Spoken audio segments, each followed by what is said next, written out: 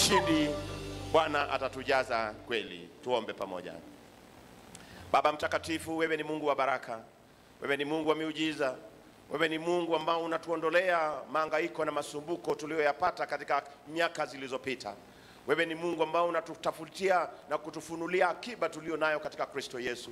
Wewe ni Mungu ambao utatuwezesha kupata urejesho katika mwaka tunaoingia. Baraka zako zijae katika maisha yetu.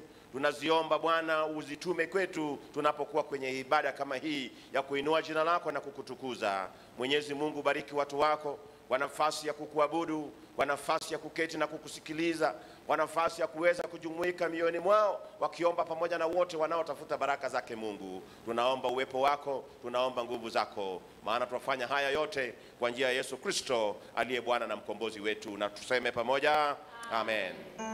Bwana wetu anajua mbele, na tunapoanza mwaka tunaomba atupe msukumo ambao tunahitaji kuweza kusonga mbele. Paulo anasema anatazama mbele yale yaliyo pale ili niweze kuyafikia. Jameni, tuimbe pamoja, mbele ninaendelea, ninazidi kutembea mbele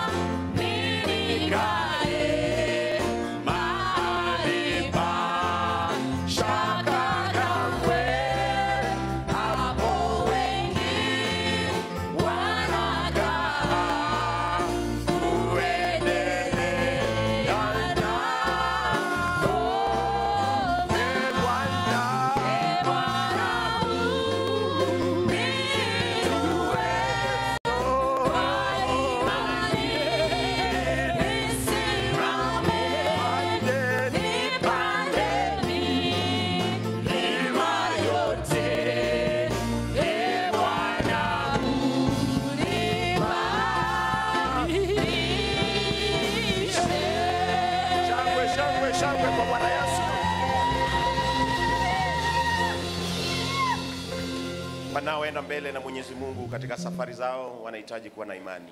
Kwa pamoja tutembee katika imani yetu kwa kuikariri pamoja imani ya mitume, na tuanze pamoja. Namwamini Mungu Baba Mwenyezi, muumba wa mbingu na nchi, na Yesu Kristo mwana wake wa pekee, Bwana wetu aliyechukuliwa mimba kwa uwezo wa Roho Mtakatifu, akazaliwa na Bikira Mariamu, akateswa zamani za Pontio Pilato, akasulubiwa, akafa, akazikwa, akashuka mahali pa wafu. Siku ya tatu akafufuka, akapaa mbinguni, ameketi mkono wa kuume wa Mungu Baba Mwenyezi. Kutoka huko atakuja kwa hukumu walio hai na wafu. Na mwamini Roho Mtakatifu, kanisa takatifu lililo moja, ushirika wa watakatifu, ondoleo la dhambi, kiama ya mwili na uzima wa milele. Amina. Naomba tuketi pamoja. Njia za baraka zinahitaji ujumuike moyoni na uweze kufurahia anavyofanya Mwenyezi Mungu. Tutampa kwaya nafasi ya kuweza kutuelekeza katika uimbaji wa kwaya wimbo moja, ili tuweze kuendelea katika njia za baraka. Karibuni kwaya.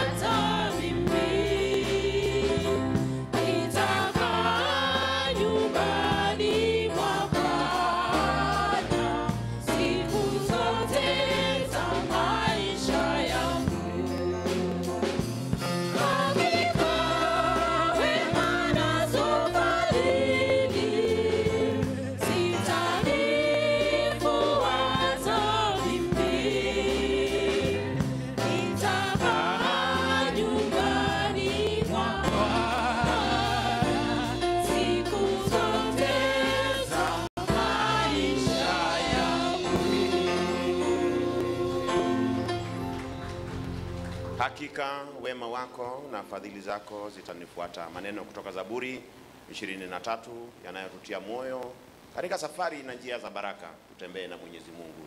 Bwana akuinue, Bwana akuhifadhi na akubariki.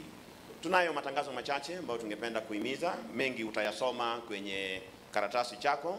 Kwa hivyo nahimiza ya kwamba Jumapili tarehe kumi na saba wiki ijayo saa nane kwa muda wa saa mzima kati ya saa nane na saa tisa tutakuwa na mkutano wa kuweza kuhamasisha wanaohusika kwenye ibada zetu waweze kuongoza vizuri zaidi na kuweza kufanya watu kusahau masumbuko yao, kuweza kufanya watu wapate akiba kutoka kwa neno la Mwenyezi Mungu na kuwawezesha kupata urejesho katika maisha yao, lengo letu ikiwa ni kila mmoja apate njia za baraka hata katika njia ya uongozi. Kwa hivyo tutajumuisha pamoja uh, waimbaji wa, wanaohusika katika kupeleka ujumbe huu kwenye mtandao uh, pia wale ambao wanahusika katika ushering, wale wanaohusika katika kuongoza hapa, waombezi na yeyote ambaye ana nafasi kuhusika kwa ibada. Mbali na hiyo pia pamoja na wale ambao wanaongoza vikundi vyetu vya maombi, maana kuna ushirika na ibada mahali pale.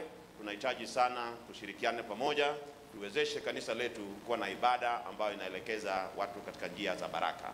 Bwana Yesu asifiwe.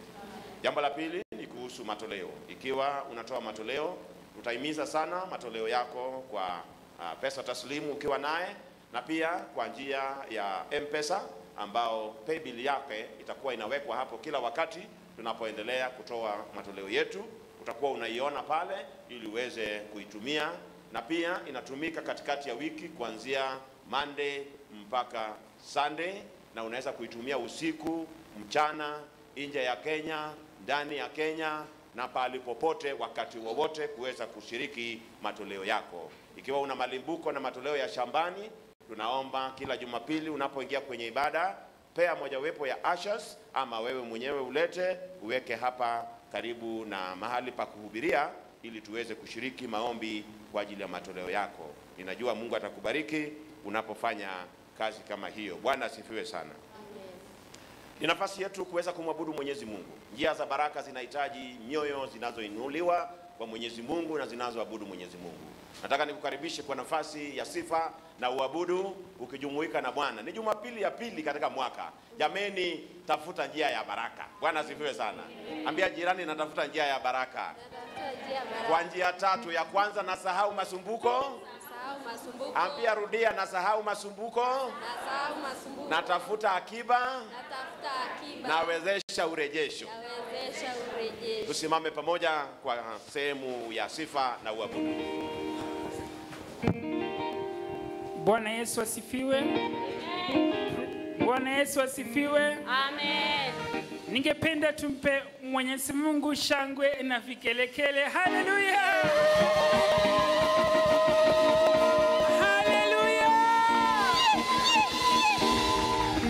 Tenda kumwabudu Mwenyezi Mungu, wimbo unasema hakuna Mungu kama wewe. Mwambie jirani yako hakuna Mungu kama wewe. Hakuna Mungu kama wewe. Thank you. Makofi mazito. Naomba mchezie Mwenyezi Mungu. Hebu tusikie.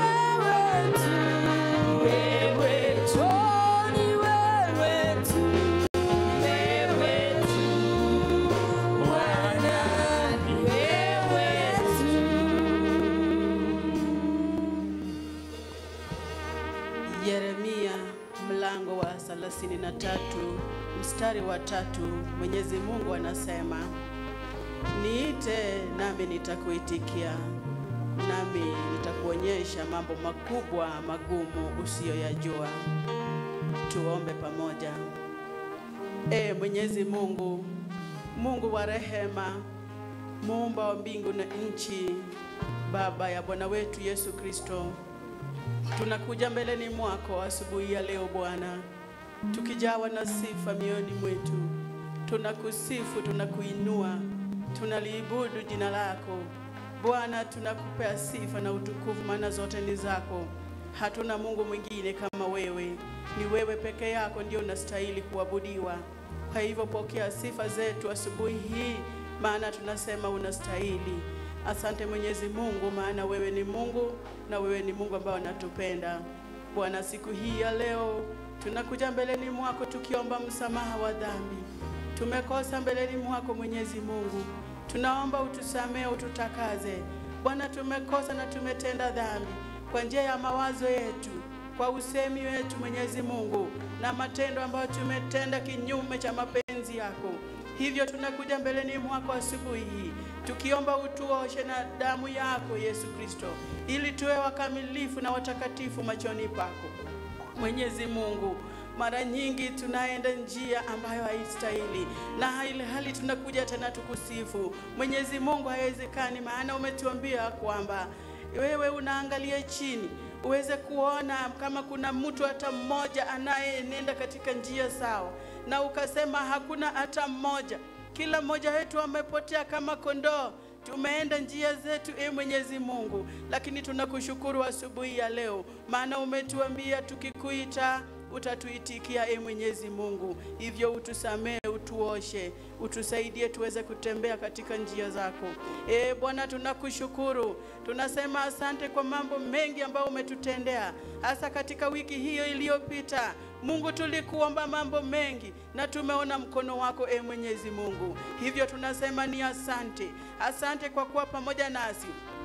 Asante kwa kutuongoza katika wiki nzima.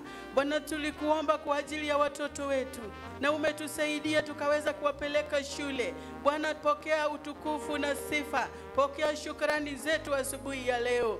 Bwana, watoto wetu wameenda shule wakati bado kuna changamoto ya korona, e Mwenyezi Mungu, lakini tunakushukuru umekuwa pamoja nao katika wiki nzima. Baba, pokea sifa zetu, tunasema ni asante. Wengine wetu walikuwa wagonjwa ukawaponya, hebu tunasema asante na upokee e Mwenyezi Mungu. Wengine wetu walikosa fedha na ukatupea fedha, sababu fedha na dhahabu ni zako Bwana, tunasema asante. Wengine wetu walikosa hata kodi ya kulipa nyumba, ukawapea e Mwenyezi Mungu, pokea sifa zetu, tunasema ni asante Mwenyezi Mungu. Tunakushukuru kwa sababu ya kanisa letu.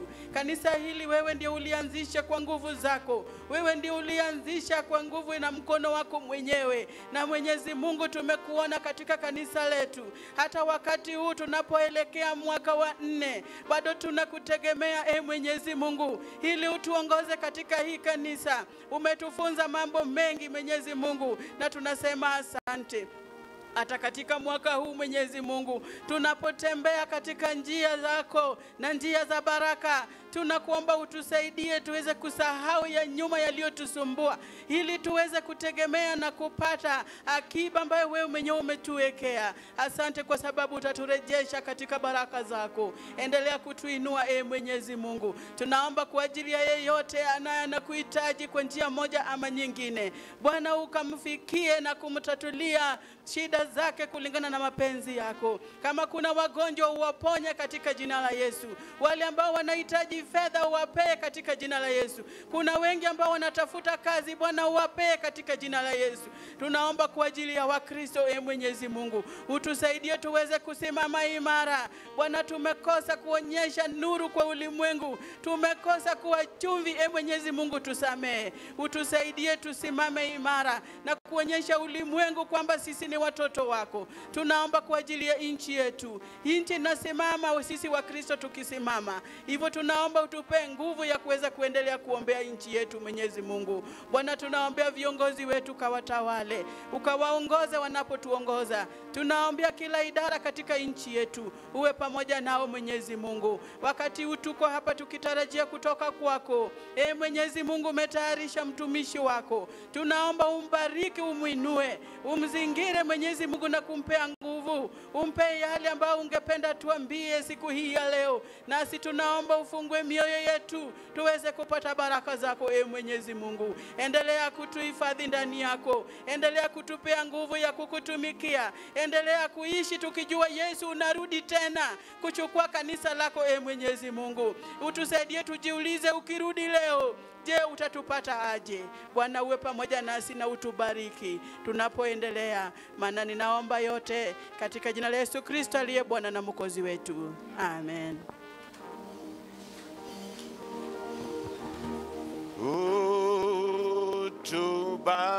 Utubariki Roho Mtakatifu, o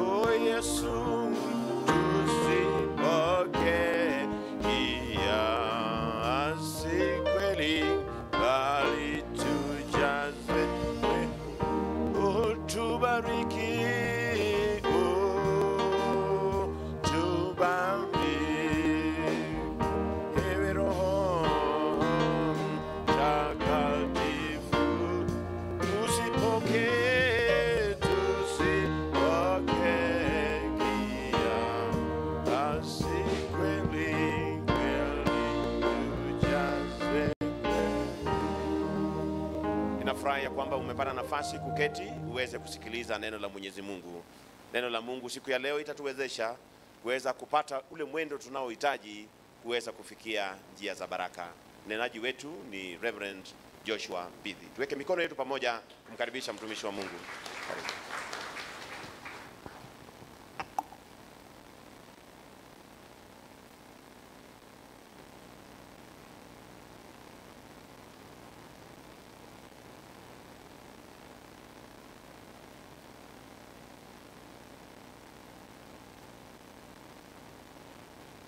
Na Mwokozi wetu Yesu Kristo. Mjambo asubuhi ya leo. Bwana Yesu asifiwe. Siku njema, siku ya baraka, siku ya kukumbushwa ya kwamba kuna nafasi ya kujifunza nguvu ya mwendo, mwendo ambao unahitajika kwa njia ya baraka tulizo nazo kwa Mungu. Mungu wetu yuna baraka na baraka hizi tunazohitaji ndizo tunazihitaji. Baraka zake ni nyingi na tunazihitaji. Niruhusu nisome Mwanzo, niruhusu nisome Mwanzo 19 12, nitaenda mpaka 20 na nisome pia 26. Nikubalie nisome Mwanzo 19 mstari wa 20, uh, 12 mpaka 20. Watu wale wawili wakamwambia Lotu, je, kuna mtu mwingine hapa pengine wanao binti wachumba wa binti zako au watu wengine wa jamaa yako wanaoishi mjini humu, watoe mahali hapa haraka, kwa maana kilio kilichomfikia Mwenyezi Mungu dhidi ya wakazi wa hapa ni kikubwa mno, naye ametutuma tuje tumwanga, eh, kuwaangamiza mstari wa kumi na nne basi Lot, Lutu akawaendea wachumba wa binti zake akawaambia, haraka tokeni mahali hapa, maana Mwenyezi Mungu atatuangamiza ata, e, atauangamiza mji huu. Lakini wanao wakamwona kama mtu mjezi tu. Kulipokucha, malaika wakamuhimiza Lutu wakisema, amka, mchukue mkeo na, wa, na hawa binti zako wawili, msije mkaangamia wakati mji huu utakapoadhibiwa. Lutu akawa ana sita sita, lakini kwa vile Mwenyezi Mungu alivyomhaburia Lutu, wale malaika wakamshika na yeye mkewe na binti zake wawili, wakamtoa nje ya mji walipo waota nje, walipowatoa nje ya mji, malaika moja akamwambia, kimbieni kwa sababu eh, kimbieni kwa usalama wenu, msiangalie nyuma wala kusimama popote bondeni, kimbilieni milimani, msije mkaangamia. Lutu akawaambia, la, bwana zangu, ni kweli kwamba mimi mtumishi wenu nimepata eh, fadhili mbele zenu, nanyi mmenionea huruma sana kwa kuyaokoa maisha yangu, lakini milimani ni mbali mno. Maangamizi haya yatanikuta kabla sijafika huko, nami nitakufa. Mstari wa ishirini, tazameni kule kuna mji mdogo ambao naweza kukimbilia, kwani huko kwani, kwani uko karibu. Basi mniruhusu nikimbie huko. Ule ni mji mdogo tu, na huko nitasalimika. Mstari wa 26 lakini mkewe Lutu aliyekuwa nyuma ya Lotu akatazama nyuma, naye alipogeuka alip, akageuka akawa nguzo, akageuza akageuka akawa nguzo chumvi. Ni hadithi ambayo ni hadithi inatia moyo wasiwasi, lakini tulio ndani ya Yesu tunajua tuna matumaini. Tunapokumbushwa asubuhi ya leo juu ya kujifunza nguvu ya mwendo, maana lazima utie nguvu, uwe na nguvu katika mwendo huu, kutia mwendo kwa njia ya baraka zako. Kuna baraka ambazo zinakungojea. Wewe, unangojewa na baraka, na baraka hizi zina Mungu.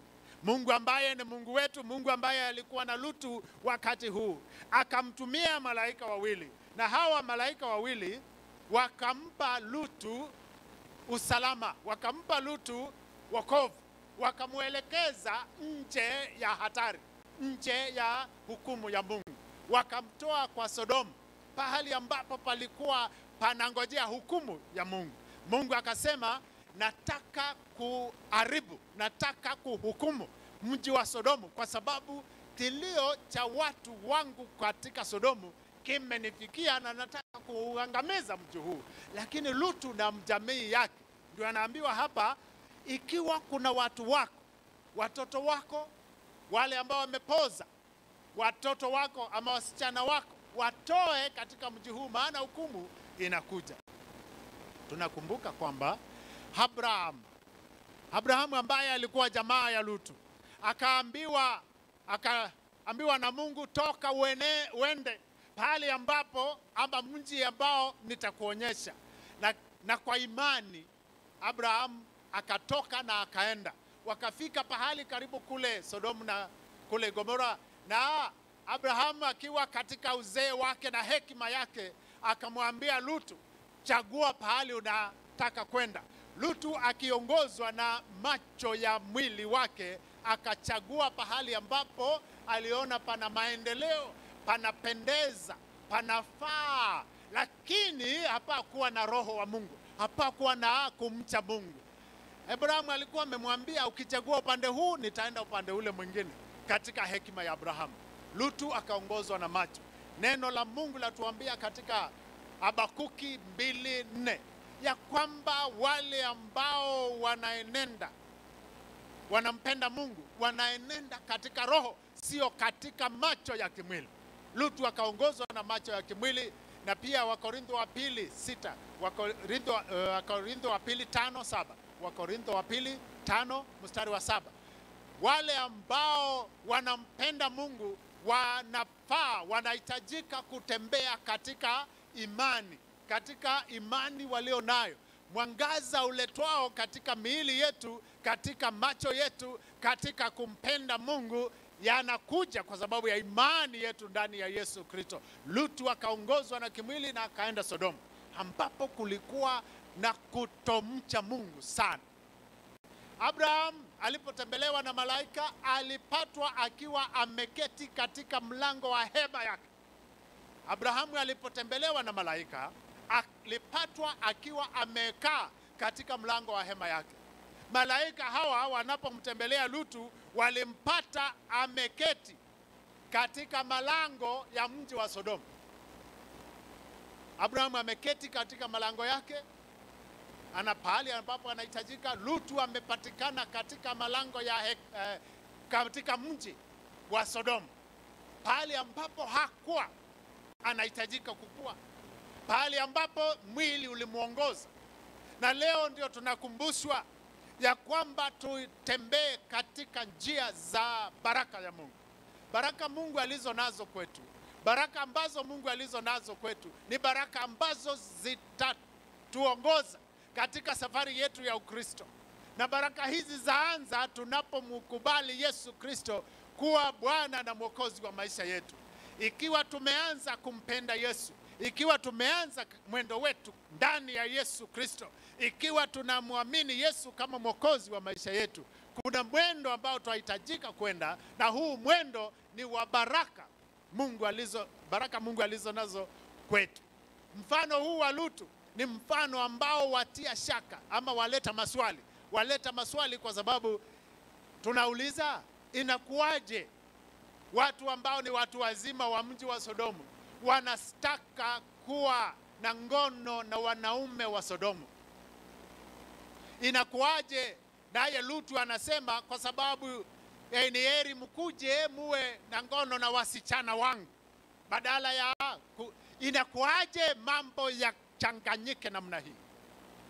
Kuna baraka Mungu alizo nazo, na ni heri ama ni vyema kuanza baraka hizi tukiwa ndani ya Yesu Kristo. Uko wapi leo? Unampenda Yesu? Umemwamini Yesu kama mwokozi wa maisha yako? Unaongozwa katika njia zako za baraka na Roho wa Mungu? Ninaongozwa katika njia kama mwendo wangu, mwenendo wangu wa Ukristo na Roho wa Mungu? Maana Mungu yuna baraka zake kwangu, maana Mungu yuna baraka zake kwako, lakini tunahitaji tujifunze ya kwamba kuna nguvu tunahitaji kwa mwendo huu. Tunahitaji nguvu fulani za Roho wa Mungu kwa mwendo huu. Mtu fulani ambaye anaitwa Madame Guyon akasema e, niruhusu nisome kwa Kiingereza kwanza, alafu tuone vile inamaanisha kwa Kiswahili. Anasema it is the fire of suffering that brings forth the gold of godliness. Kuna moto ambao wa kuumia wa kuteseka ambao unaleta dhahabu ama uzuri ama wema wa kiungu katika maisha yetu. Unaweza kupitia njia za changamoto, unaweza kupitia njia nzito, njia ya maja, za majaribu, njia za mateso, njia za magonjwa, lakini ikiwa unamwamini Yesu Kristo, unampenda Yesu Kristo, hiyo utaichukua ama itakuwa ni kama njia ya kukufanya safi, ya kuleta mema nje ya ma, kwa maisha yako, mema ya maisha yako katika Ukristo wako. Mwingine akasema kwa maisha kuna C tatu, leta C tatu. Niruhusu nisome pia kwa Kiingereza kwanza. Choice, chance, change. Choice, change and choice, chance and change. Na akasema you must make the choice. You must make the choice to take the chance. Make the choice to take the chance if you want anything to change. Wacha nirudie. There is choice, there is chance, there is change. Akasema, you must make the choice. Make the choice to take the chance if you want anything to change. Katika maisha yako na mimi pia, mwingine akaendelea kutukumbusha kwa Kiingereza tena, no one can change a person but someone can be a person's reason to change. Malaika hawa wakakuja wakiwa wana ujumbe kutoka kwa Mungu, wabadilishe change, wabadilishe maisha ya Lutu na jamii yake. Kubali mabadiliko ya maisha yanayokuja kwa maisha yako, na hasa yale ambayo yanakuelekeza kwa njia ya baraka za Mungu, kwa njia ya baraka Mungu alizo nazo kwako. Maana Mungu yuna baraka alizo nazo kwako. Wewe wako tayari kuchukua kupokea, uko na hizi nguvu, umejifunza nguvu hizi, kuenenda katika nguvu hizi kwa mwendo wako, unapotarajia kupokea baraka Mungu alizo nazo kwako. Msomi fulani wa Biblia akatuelekeza kwa mambo haya matatu kwa kifupi, kwa sehemu hii ya Biblia, akasema hivi: tunaishi katika wakati ama nyakati ya waovu. Wakati huu tunapoishi kama wakati ama mji wa sodoma tunaishi wakati ambapo ama mambo mabaya yanatendeka, maovu yako mengi. Mhubiri fulani juzi tukaona akitajwa ya kwamba amekuwa akiwa na ngono na wasichana wake wawili. Hiyo iko kwa public domain, ndio ninaisema hapa, hata waisingekuwa ninasema. Mhubiri fulani amekuwa akiwa na ngono na wasichana wake wawili, na hikukuishia hapo, he rundicad them stomach. Ni kama wale, kuna shule fulani kule Ukambani ambapo wakati walikuwa wanajifunza Kiingereza walitumia lugha karibu na hiyo. Wacha niwache hiyo. On a serious note, unaposikia story ama hadithi kama hii, unapoona habari kama hizi, ni nini kinaendelea kwa mawazo yako? Ne unawaza juu ya nini? Baba na watoto wake, hao watoto hao wasichana, ni nini inaendelea kwa mawazo yao? Tena watoto wasichana wadogo Mwingine huyo miaka ishirini na mbili akaamua kwamba hana haja na watoto, wazazi wake, hana haja na wazazi wake, akachukua panga na akaenda akiwachinja kama kuku mwezi uliopita wa Disemba, mbuzi wakati ulio, mwezi uliopita. Kuja hapa maliza, wewe una nini? Kata maliza. Tunaishi katika wakati ama nyakati za waovu. Haikuishia hapo. Jambo la pili akasema ni wazi kwamba tuwazi kwamba tunangojea hukumu ya Mungu. Hukumu ya Mungu inatungojea ikiwa hatutapanga kupokea ama kuwa na nguvu tunapotembea tukitaka tukitarajia baraka Mungu alizo nazo. Kuna hukumu ya Mungu ikiwa hatutampenda Yesu, ikiwa hatutamuishia Yesu, kuna hukumu inayotungojea.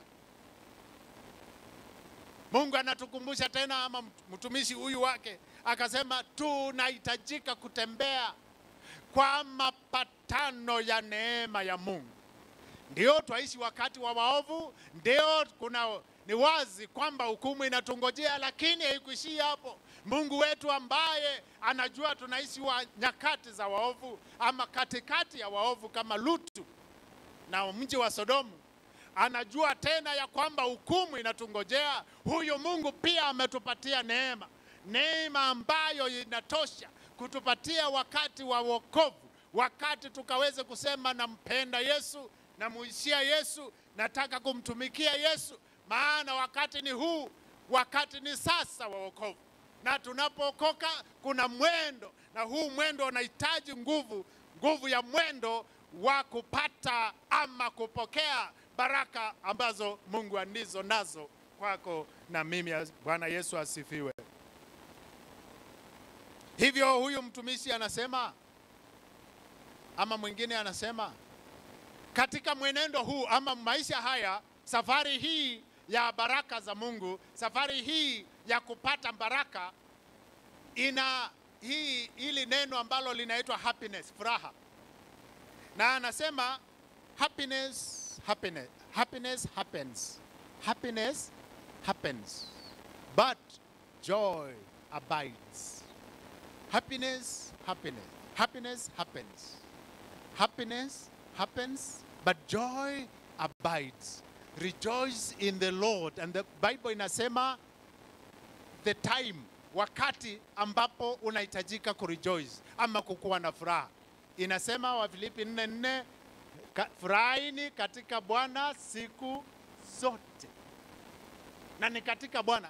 Hii furaha iliyo katika Wafilipi 4 sio hii raha tu ya raha kama moto wa nyasi, ni furaha itokayo ndani, sio furaha itokayo nje, itokayo ndani kwa sababu ya kumpenda, kumuishia kumpenda Yesu inatoka ndani, furaha inatoka itokayo ndani yetu, joy as opposed to happiness. Happiness happens, joy abides. Hivyo tunapojifunza nguvu ya mwendo katika njia ya baraka zetu, kuna mambo matano ambayo tunakumbushwa leo itusaidie kutoka katika neno hili la Mungu. Na kwanza swali ni where uko wapi? Wewe uko wapi? Umesimamia wapi?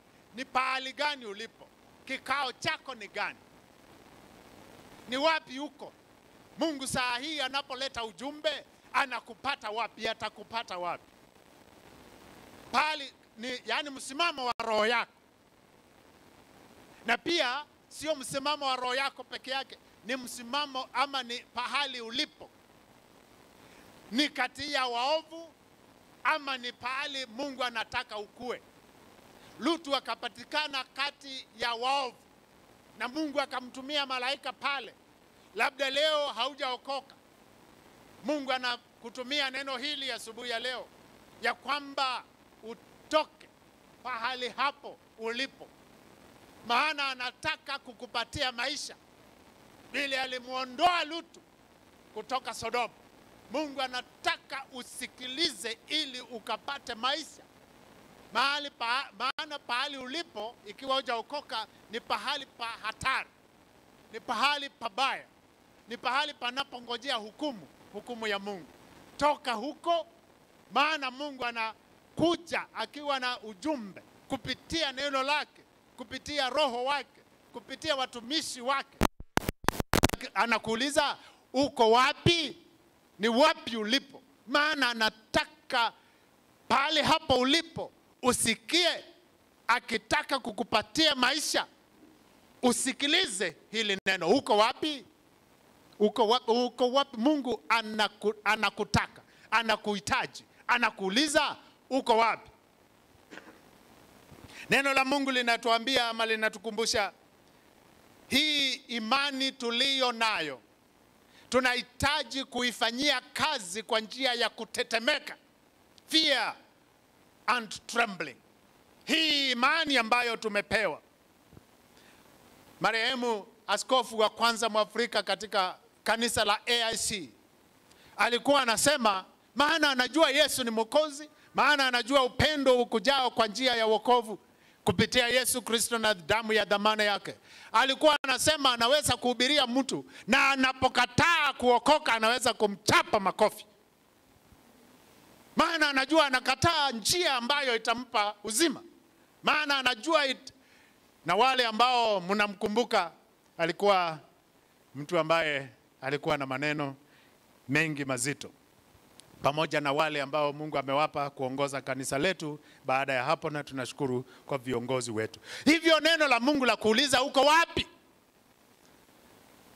Swali hili ni swali ya muhimu sana ikiwa tunataka hizi baraka za Mungu. Na jambo la pili ni kwamba unahitajika kuwa tayari. Uko wapi? Utayari? Are you prepared? Uko tayari? Neno la Mungu la kuambia lazima uwe na mpango, lazima ili uwe tayari ukae ukiwa na mpango.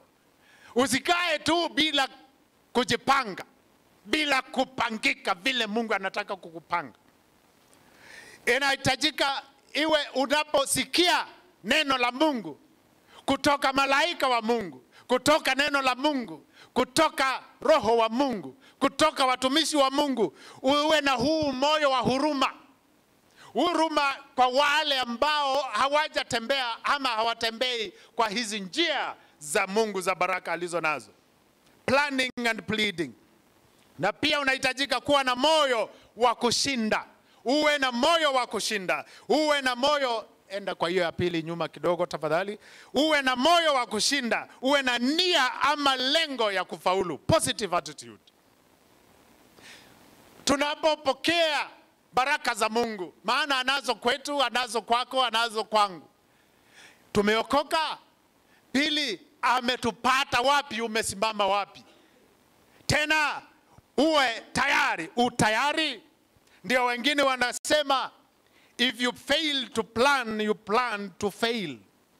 If you fail to plan you plan to fail. Na ni the same, ni vile vile tu ya kwamba if you fail to prepare you prepare to fail. Ikiwa utajipanga ni kama unapanga kutopangika ama kuanguka. Mungu anataka uwe tayari ili unapopeleka mipango ya Mungu ama eleza wengine juu ya ama unapokuwa tayari kupanga kuwa tayari kwa baraka Mungu alizo nazo, ili uwe umepanga, ili uwe na huruma ya Mungu kutoka kwa uh, wakati kama huu ambapo tunaishi katika enzi ambazo ni chafu na ni mbaya sana, ili Mungu akaweze kukutumia uwe na moyo wa kushinda, uwe na nia na lengo ya kufaulu. Usikate tamaa hata kabla uanze. Ah, huyu ninajua hataweza okoka. Hii hii hii baada ya kuslash wazazi wake hii ah, ah, haiwezekani. Hiyo tusimalizie na Mungu hajamalizia. Usimalizie na Mungu hajamalizia. Ikiwa maana wote ambao wamemwamini Yesu Kristo, wa Korintho wa pili tano, wote wanaomwamini dhambi zao wanapoingia ndani ya Kristo, yote ya kale yamepita, tazama, yote yamekuwa mpya. Maana maisha ndani ya Kristo yanaanza unapookoka. Neno la Mungu la kuambia uwe tayari, nakuuliza uko wapi? Kuwa tayari. Na jambo la tatu, neno la Mungu linatukumbusha kwamba tukaweze kutoa ama kupeana habari vile ilivyo. Malaika wakaja kwa Lutu wakimwambia, mji huu wa Sodomu utaharibiwa, utahukumiwa, kuna maovu mengi kwa mji huu. Hivyo maneno ambayo ametumia hapa ni haraka, upesi, toka haraka, maana kuna hukumu ambayo inakuja. Wokovu ni wa sasa kulingana na neno la Mungu wa Korintho wa pili tano. Wokovu wa Mungu ni sasa kulingana na neno la Mungu. Umeokoka wewe, unapotoa ama peana habari ya Mungu, unaipeana vile ilivyo, unagawea wengine vile umepewa. Wakati huu wa sasa wa wokovu unaopeana, unagawa vivyo hivyo, unapeana haraka, unagawa hiyo swiftly, haraka. Pia unaitoa hii habari kwa roho safi, roho nyeupe, ama kwa haki. Unatoa hii habari ya baraka za Mungu kwa wengine kwa njia ya haki, maana unahitaji kuutoa upesi, haraka. Gawa hii haraka, hii eh, habari ambayo umepokea kutoka kwa Mungu, toa haraka, maana hukumu inakuja. Neno hapo ni haraka, toka maana Sodomu karibu yaribiwe, karibu yangushwe, karibu ihukumiwe na Mungu. Na ni vivyo hivyo wakati huwa neema, si mbali uishe, si mbali na uishe, Mungu akalete ghadhabu yake kwa dunia. Haraka tueneze, tugawe, tuseme neno ambalo tumepewa na Mungu. Na jambo la nne ni kwamba tunahitaji kuwa washirika. Lutu ameshiriki, ingawaje tunajua amesema ama amepanga mengine ambayo hayaambatani na neno la Mungu ama vile Mungu angependa, lakini alishiriki wa, na vile alipokuwa anaongea na malaika wa Mungu wakafikia pahali hapo ambapo oh, ni vyema nisikie sauti ya Mungu, ni vyema nitoke, maana kuna baraka. Naamini Lutu anasema anataka wokovu wa Mungu, anataka ukombozi wa Mungu. Twahitaji kushiriki katika habari hii, habari ambayo tumepewa ni kwamba Yesu ni Mwokozi, ya kwamba Yesu anaokoa, ya kwamba Yesu anatupenda, ya, ya kwamba hukumu inakuja. Hivyo tushiriki, tujishughulishe katika mapatano kwa bidii, bidii ambayo tunajua ya kwamba wewe mwenyewe, mimi mwenyewe ninajua, sio kuambiwa, the experience niko na hiyo mimi na najua nimeokoka nampenda Yesu. Wewe wajua umeokoka unampenda Yesu. Oh, hiyo habari gawa kwa haraka na kwa bidii, maana wakati ni mfupi, wakati ni mchache. Na jambo la tano, ba baada ya kuulizwa uko wapi, baada ya kushiriki, baada ya kuwa tayari kugawa hii habari, tunakumbushwa kwamba tumelindwa, ya, kwa, ya kwamba tuko sawa, ya kwamba tumekingwa. Roho wa Mungu yu pamoja nasi. Hona vile mji wa Sodomu unafanywa, na unapofanywa kwa sababu Lutu na nyumba yake walisikia hii sauti pali walipokuwa, wakasikia, wakashiriki na wakatoka, wakawa wamelindwa na Mungu. Tunahitajika leo, kutoka ujumbe wa leo, tuwe na imani kwamba neno la Mungu litasimama. Na litasimama na ni milele, sio wakati huu peke yake, lakini pia tunapopewa huu ulinzi wa Mungu, tunapokingwa, maana tumepatwa na Mungu, tumeokoka, tumeshiriki kwa huu ujumbe, tumepeana ujumbe vile unahitajika, tusitazame nyuma, tusitazame nyuma, twahitaji kuendelea mbele, maana ulinzi wa Mungu u pamoja nasi. Ulinzi wa Mungu u pamoja nawe unapoeneza hii injili, unaposhiriki katika hii injili, vile Lutu alifanya na mji wake na watu, e, nyumba yake, wakasema tutoke, ingawaje walisitasita. Wale ambao walikuwa wameposa wasichana wake walisema alikuwa na ah, ni mzaha tu, he, is joking. Neno la wokovu haina mzaha, ni serious business. Tuokoke tuende mbinguni, hukumu yaja. Tumpende Yesu, tumuishie Yesu, maana hukumu inakuja. Tumekingwa, tumelindwa, tumebarikiwa. Wa- Waraka wa kwanza wa Yohana 2:16 neno la Mungu linasema maana kilichomo duniani, tamaa ya mwili, tamaa ya macho, kiburi cha uzima, hakitoki kwa Baba, bali chatoka duniani. Tamaa ya mwili, tamaa ya macho, kiburi cha uzima, haitoki kwa Mungu. Haya twayaona katika mji wa Sodomu, na sisi pia vile tulisema mbeleni, twaishi katika kwa nyakati ambazo ni mbaya. Tukumbuke ya kwamba haya mabaya hayatoki kwa Mungu, mbali. Wakorintho wa pili sita mbili Wakorintho wa pili sita mbili tunasoma wakati ulio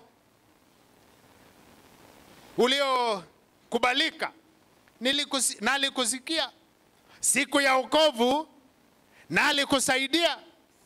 Tazama, siku ya wokovu ni sasa. Tunapojifunza kutembea na nguvu za Mungu kwa njia za baraka zake kwetu, tukumbuke ya kwamba ni sasa tuanze huu mwendo, kwa sababu mtumishi wa Mungu Nuhu katika Mwanzo sita nane Mwanzo sita nane tunasoma hivi, Nuhu akapata neema machoni pa Mungu. Nuhu akapata neema machoni pa Mungu. Ikiwa tunataka kujifunza kutembea katika mwendo huu wa baraka kwa njia ya baraka za Mungu, tukiwa na nguvu tupewazo na Mungu, tupewazo na Roho wa Mungu, tutembee tukikumbuka kwamba tumepata neema machoni pa Bwana. Niruhusu niseme hii kwa Kiingereza. God will not get us out of destitution, desperation to destruction. Mungu hatatutoa kwa mabaya, maovu, atupeleke kwa kuisha ama hukumu, but ata, akitutoa kwa haya mabaya, haya maovu, atatuleta kwa wokovu na ukombozi. Bwana Yesu asifiwe. Hata tutoa kwa mabaya maovu, atulete kwa kuharibiwa ama hukumu, atatuleta kwa wokovu na ukombozi. Wow.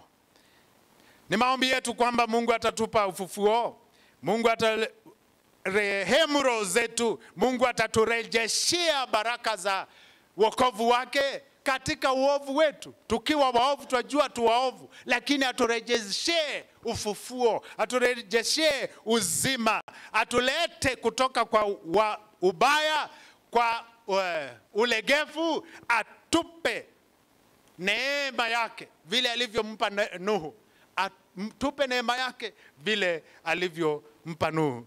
Ni maombi yetu kwamba baraka za Mungu zitaandamana nasi tunapotembea katika njia ya baraka Mungu alizo nazi.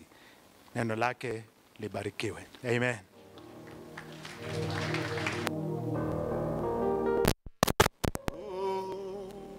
Tubariki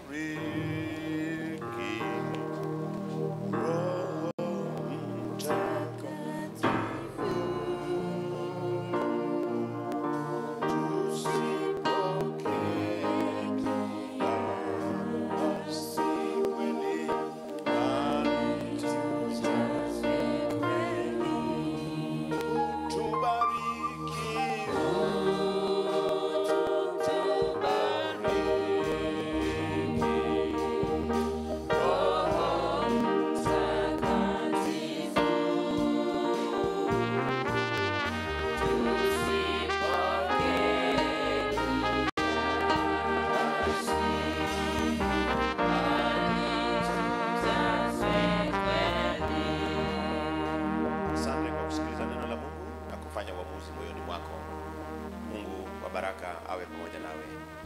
Kipindi kinachofuata tunahitaji kuweza kumwabudu Bwana kwa baraka alizotupea kwa ajili ya kutoa matoleo yetu ya sadaka pamoja na fungu la kumi. Naweza tumia baadhi ya njia ambazo tumeeleza, naweza tumia simu, naweza tumia pesa taslimu. Taomba wasaidizi wetu wakiwa wanatembea katikati yetu kwa ajili ya matoleo haya. Tutakuwa tukiendelea kuimba wimbo huo, baraka zake ni nyingi. Tunapompea Mwenyezi Mungu, Mungu anatubariki. Kwa hivyo kwa muda huo, wasaidizi wetu tafadhali, taomba watembee katikati yetu, tuombe pamoja wanapoanza kazi hiyo. Mfalme wa amani, Mungu wa rehema, Mungu wa baraka zote, ambao unahimiza maisha yetu iweze kuambatana na mapenzi yako ili tubarikiwe zaidi.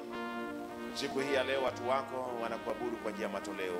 Pokea zote, maana ni zako, kwa Yesu Kristo aliye Bwana na mkombozi wetu. Baraka zake ni nyingi,